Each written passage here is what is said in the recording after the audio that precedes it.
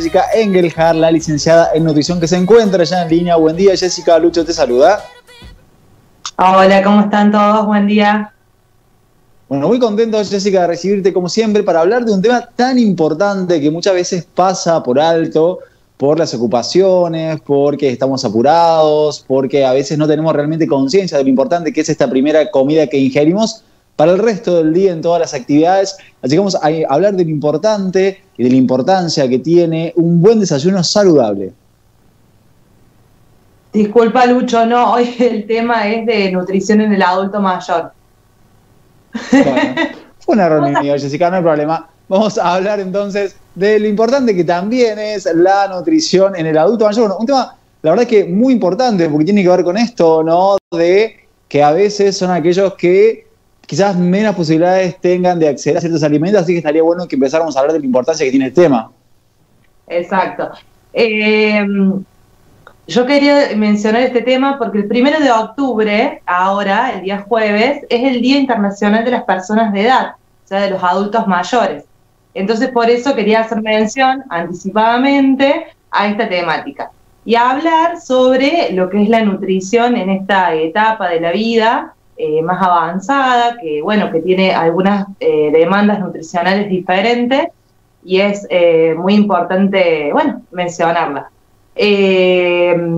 no sé si ya tienen, van a pasar las plaquitas, ¿tienen las plaquitas o no? Ya lo estamos viendo en pantalla la primera placa, Jessy. Ah, bien, bien. Bueno, el primero de octubre, como les decía, es el Día Internacional. lo importante de, de esto es eh, revalorizar esta etapa de, la vida del adulto mayor como grupo vulnerable. Eh, ¿Por qué es un grupo vulnerable? Porque justamente ahora eh, uno ve con, toda esta situación de COVID, son los que más complicaciones pueden llegar a tener. Entonces está dentro de este grupo vulnerable a nivel de lo que es lo social, lo económico y lo físico, dentro de lo que tiene que ver con la salud. Entonces por eso es muy importante hablar de esto. ¿Sí? Eh, seguimos en la siguiente plaquita, yo les doy la definición de lo que es el envejecimiento en sí. Eh, es un proceso que es dinámico, es gradual, es natural e inevitable. Esto significa que a todos nos va a suceder, o sea, todos nacemos y empezamos a envejecer desde el momento en el que nacemos. Eh, es dinámico porque se va dando con, con el tiempo, como les decía, es algo natural que nos suceda a todos, y es gradual porque tiene distintas etapas, ¿sí? que vamos, vamos evolucionando. Y este envejecimiento nos afecta a nivel biológico, corporal, psicológico y social. ¿sí? A medida que vamos llegando a esta etapa de envejecimiento, de, perdón, esta etapa de vejez, em, hay otras, otro tipo de demandas nutricionales que es importante atender. Ahí estamos viendo, Jessica, en la imagen que recién compartimos, esto, ¿no? El progreso que tiene que ver con cuando es niño que comienza gateando y cuando es adulto mayor que termina también un poco perdiendo lo que tiene que ver con el 100% de estar erguido en lo que tiene que ver con la figura del cuerpo. Jessica, contanos cuáles son los alimentos que no pueden faltar en, este estado, en lo que tiene que ver con la etapa de la vejez.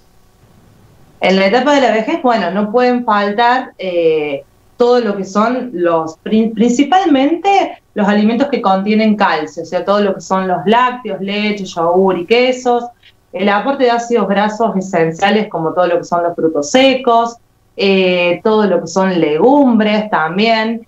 Eh, no sé si recuerdan en, otras columnas anteriores eh, que hemos hablado que siempre aparece la gráfica nutricional nuestra, que es la Argentina, que es como un plato. Bueno, todos esos alimentos tienen que estar dentro de nuestra alimentación.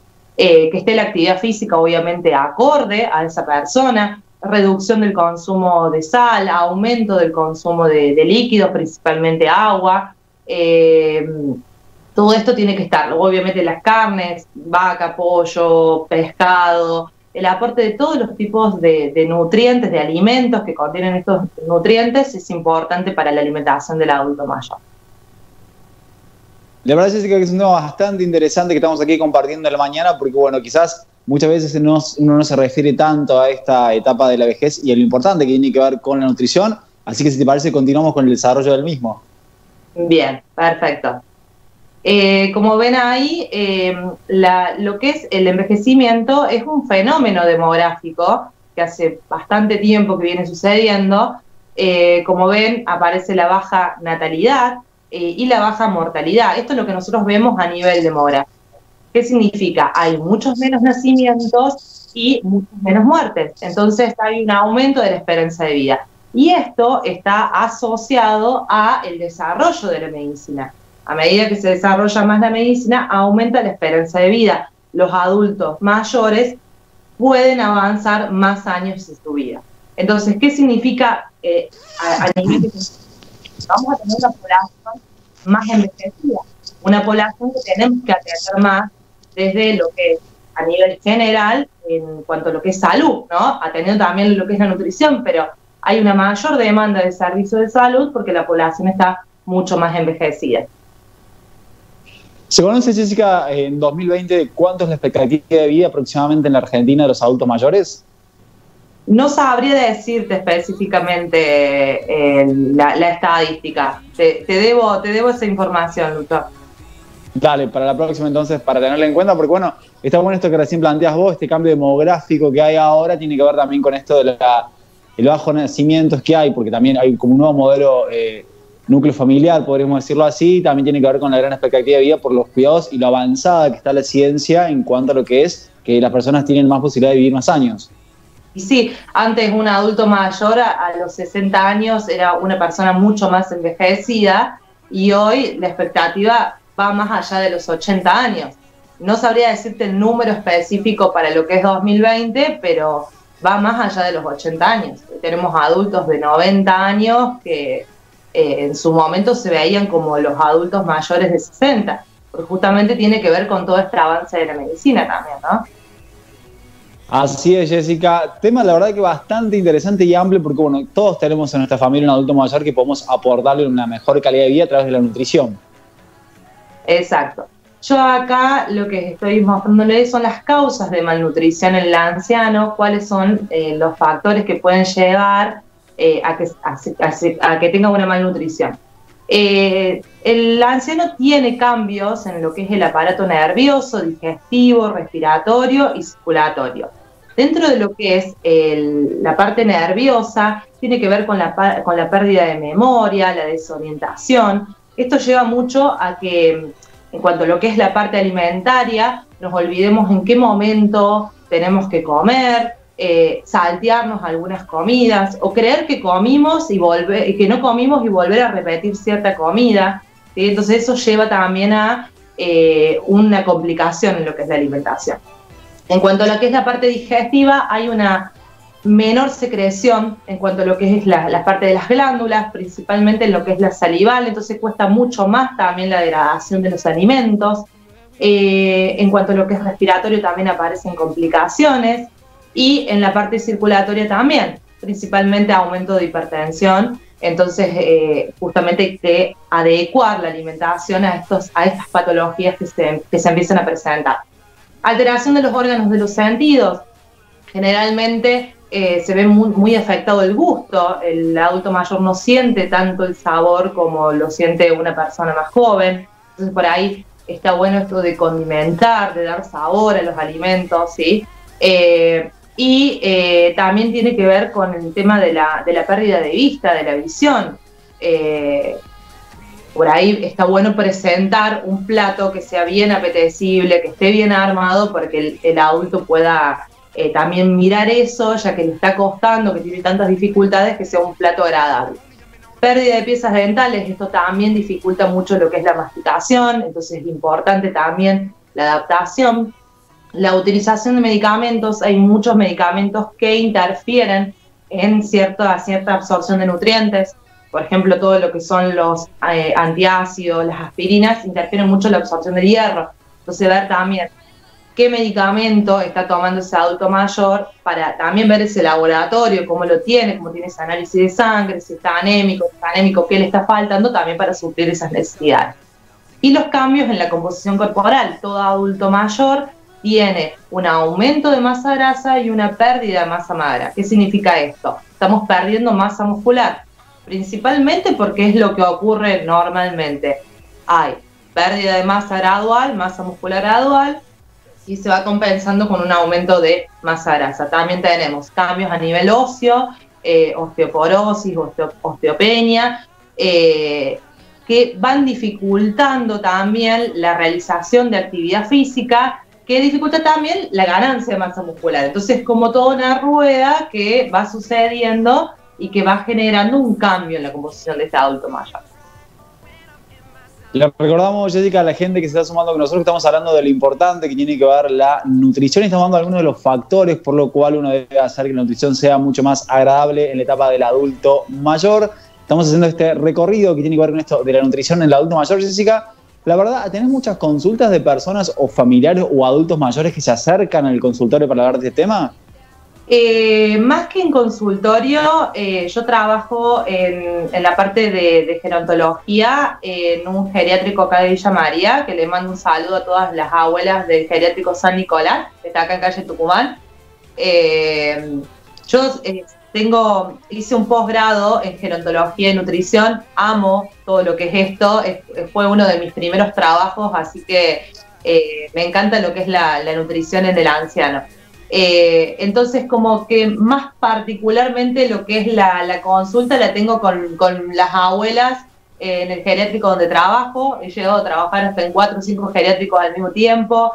Ahora mantengo uno por, por razones eh, de tiempo y familia. Eh, pero fue, siempre es algo que quiero mantener porque me encanta lo que es el, el tratamiento nutricional en el adulto mayor. Es menos frecuente la consulta del adulto mayor eh, en el consultorio, generalmente se da más en instituciones geriátricas, eh, pero está también el adulto mayor que muchas veces es derivado y consulta, pero siempre em, está más en lo que es la parte gerontológica. Bien, Jessy, si te parece, continuamos con las placas que has preparado para el día de hoy. La verdad que se nota que sos una apasionada de este tema, así que queremos disfrutar de realmente al 100%. Bueno, muchas gracias.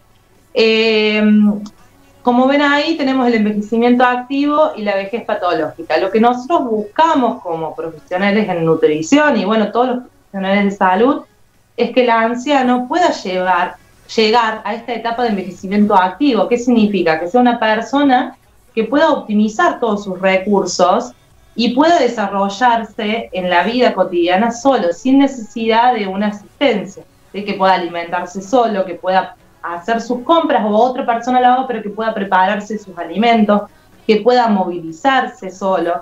Eh, pero también tenemos el otro lado que es la vejez patológica, que ya es una persona que viene acarreando, que puede ser por una malnutrición en, en su juventud, que acarrea un montón de patologías que lo llevan a una vejez patológica, eh, o circunstancias que se van dando y aparecen patologías en el, en el momento.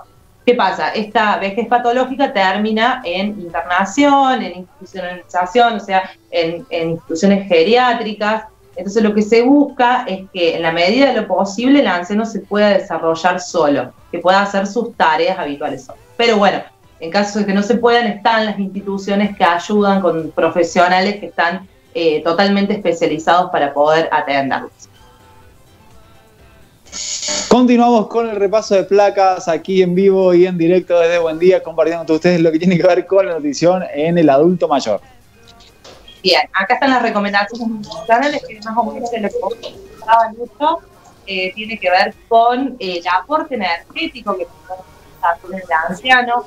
El aporte energético está reducido, no es lo mismo el aporte energético que vamos eh, en una persona joven en un adulto. Está reducido en un 5-10% esa pérdida de masa muscular que tiene eh, esta persona, ¿sí? por la menor actividad física. Hay que hacer un buen aporte de hidratos de carbono, proteínas y grasas, parte proteicos por la pérdida de masa muscular y aportar vitaminas y minerales, todo como, como veían en la placa, calcio, vitamina D. La vitamina D, recuerden que es con exposición solar, se sintetiza de esa manera, 15 minutos todos los días afuera, porque sol come un poquito los antebrazos, ya es suficiente para poder sintetizar vitamina D. ¿Por qué necesitamos la vitamina D? Para poder fijar el calcio y evitar a largo plazo tener alguna osteoporosis osteopenia, que es cuando los huesos se empiezan a poner un poquito más blandos. el hierro para evitar anemias, todo lo que es vitamina E, vitamina C y todas las vitaminas del complejo B para justamente la parte nerviosa y de, la, de lo, todo lo que es la circulación a nivel cerebral, ¿sí? para el mejor funcionamiento y evitar todo lo que es la desorientación, pérdida de memoria, etcétera, etcétera. Aumento del consumo de fibra y agua, justamente porque aparecen muchos problemas nivel de lo que es constipación, entonces es importante para regular el tránsito intestinal que es consumir fibra a través de frutas y verduras, eh, que las preparaciones sean agradables a los sentidos. Eh, como decíamos recién, hay pérdida de los sentidos, entonces es importante que lo que nosotros le presentemos sea agradable para esta persona. ¿sí? Eh, cinco a seis comidas diarias, igual que cualquier persona, cinco a seis comidas diarias. Esto significa el desayuno, la merienda, el almuerzo, la cena y la colación. y contemplar todos los gustos que también tenga esta persona, ¿sí? Eh, por razones culturales, sociales, psicológicas. Puede pasar que una persona que es de cierto lugar, eh, por ejemplo, el norte argentino, que le guste comer eh, cierto tipo de, alimento. Entonces, también contemplar esas necesidades y decir, bueno, a esta persona le gusta comer tamales, vamos a elaborarle tamales para que un, una vez, aunque sea, pueda experimentar esto que tiene que ver con lo cultural, eh, que también nos hace tan felices.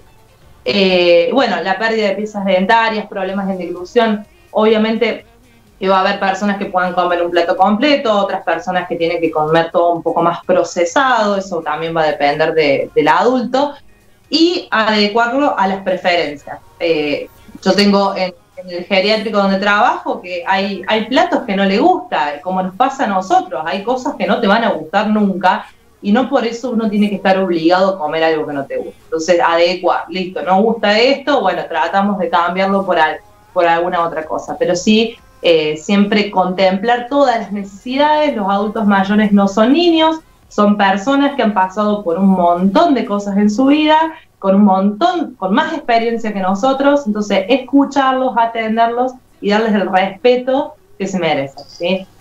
Eso es importante. Es muy importante lo que decías al final, Jesse, porque la verdad que uno debe aprender a, respetar y escuchar a sus adultos mayores. Y nos queda la última placa para compartir del tema del día de hoy, que la compartimos con todos ustedes. Bueno, eh, yo siempre digo que uno tiene que nutrir también, o sea, nosotros los nutricionistas no hacemos nutrición desde lo que es eh, te doy tanto hidrato, tanta proteína, tanta grasa. También tenemos que nutrir desde lo, desde lo afectivo. Como ven ahí, hay nutrientes que son constructores, energéticos y protectores. Si nosotros vemos desde lo constructor, el nutriente constructor en sí es la proteína. Pero si nosotros tratamos a ese adulto con amor, con respeto, reconociéndolo, eh, estando al lado de él, vamos a estar construyendo también. Una persona que se siente bien atendida y respetada es una persona que se va a poder nutrir bien. Si, no, si no atendemos a esto también y solamente ofrecemos un plato de comida, no estamos ayudando en absoluto. Energía. Eh, ¿Qué nos da energía? Los hidratos de carbono principalmente, que son todos lo que son los, panificados, eh, las legumbres, todo eso a nosotros nos da energía, pero también que el adulto eh, tenga eh, piense en algún proyecto, en eh, algo creativo que le impulsa, alguna cosa que, lo lleve a, que diga, bueno, mañana voy a poder hacer esto, eso también le da energía para poder salir. Porque si no tenemos energía para poder salir todos los días, no vamos a querer alimentarnos, porque esa es la realidad. Entonces también nutrir desde ese lado. Y lo, desde lo protector, la grasa es protectora, nosotros tenemos grasa debajo de nuestra piel, alrededor de los órganos que nos protegen. También eh, hay nutrientes protectores dentro de lo que es lo afectivo que tiene que ver con generar autoestima y comunicación.